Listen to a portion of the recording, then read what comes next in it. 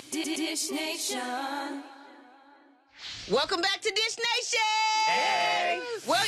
Taylor Swift is not too happy about this bromance. According to reports, Taylor Swift's exes, Jake Gyllenhaal and Calvin Harris, are hanging out and forming a bromance, darling. Oh my God. Apparently, Jake started going to the same exclusive gym that Calvin goes to, and sources claim they've gotten to know each other and have become fast friends. Uh-huh. Well, allegedly, Swift is freaking out about their growing friendship, and an insider revealed the last thing she'd want is for them to start swapping notes about their relationships with her. Ew, that's Wait, good. Is she dating either of them right now? Not no, but currently, she no. did. I mean, Oh, But it, it has to suck that you dated so many people that, like, you know, the chances of, like, people that you dated are now friends. right. But that's a good thing, though. I think it's good that they're friends because she, um, Jake could tell the other one some things that he did with Taylor, and he could share some things he did, and then both of them could get jealous because Taylor may have tasted him and didn't taste him. He's like, well, she tasted me, but she didn't taste me. no, I, I, the only reason I would see her being upset is if she wanted one of them back. they have most likely both completely moved No, on. No, you know how homeboys do.